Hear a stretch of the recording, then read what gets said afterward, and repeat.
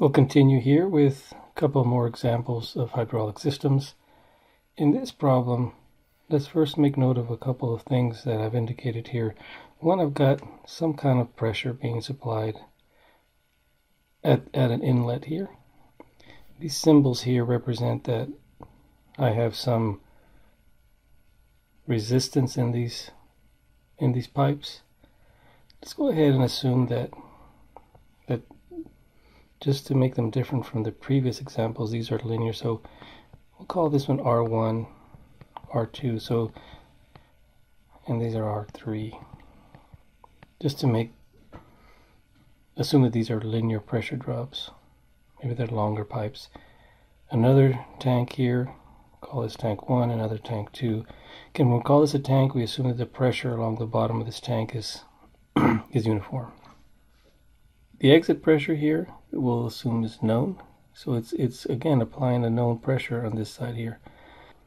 Okay, I may not work this problem completely um, in the interest of time, but just a couple of different things to show you. How would you begin writing the equations? How many equations do you need? Well, there's no indicated, well, I'm not indicating, I'm indicating these are short pipes with linear friction, linear fluid friction. So there's no kinetic energy storage here. There's only potential energy storage. So the only possible dynamic states are the volume 1 and volume 2. So right away you can just focus on writing two ODEs, right? So that most you can have two states,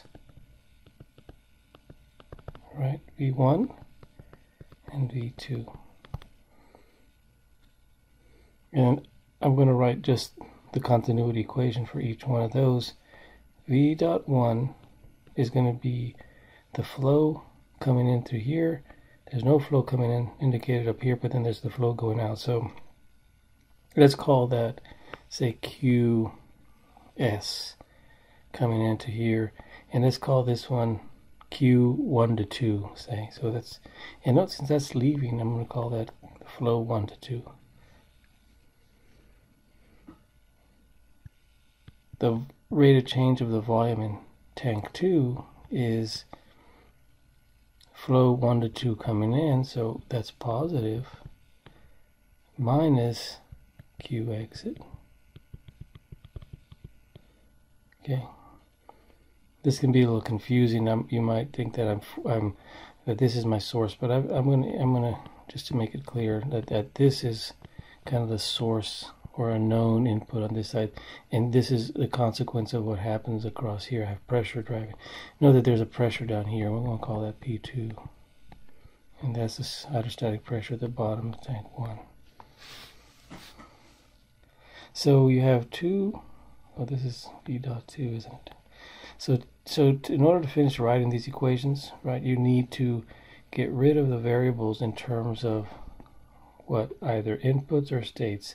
The inputs are PS and P exit, and the states are V1 and V2. So QS needs to be expressed in terms of of, of pressures that we know, which is the pressure uh, and the outside here being forced and the pressure at the bottom thing. So for, for example, QS, you know, where would you get that? Well, for that resistive element, remember the, I'm going to call that P1, oops, let's call that PR1, because I call that P1. That is R1 times QR1, right?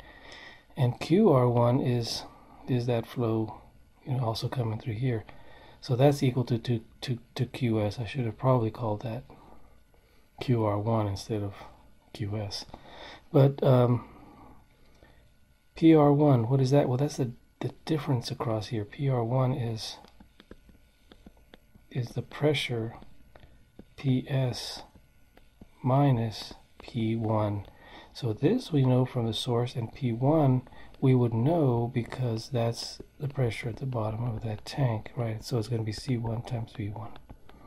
I'm sorry, 1 over C1 times V1.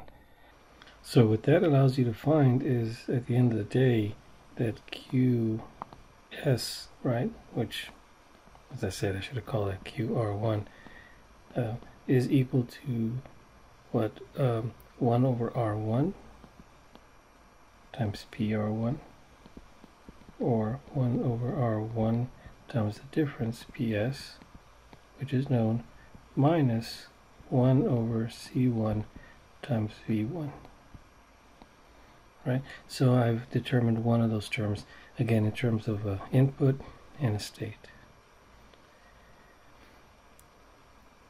You continue this way right to find the flow coming out here and I should call that QR2 right instead of or Q12 is what I called it but it really is the flow through resistance 2 you should see again what I'm going to do is something similar here. It's going to be since I can find the pressure drop across this resistive element as R2 times the flow through there I can find the flow as a function of the pressure.